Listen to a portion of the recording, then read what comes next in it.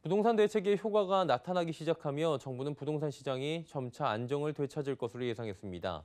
김용범 기획재정부 제1차관은 오늘 비상경제중앙대책본부 브리핑에서 상반기 주택가격 상승 요인으로 갭투자와 법인 설립 형태의 투자, 세제 입법 불확실성, 패닉바잉 심리 확산 등을 꼽았습니다.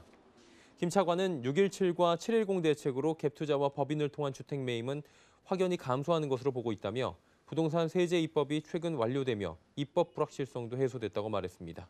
이어 최근 통과된 세법 때문에 법인 형태로 다주택을 보유한 사람들이 상당히 많은 물량을 내놓을 것으로 본다며 민간 임대주택 특별법에 따라 임대주택 기한이 말소되며 해당 주택도 상당량 매물로 나올 것이라 예상했습니다.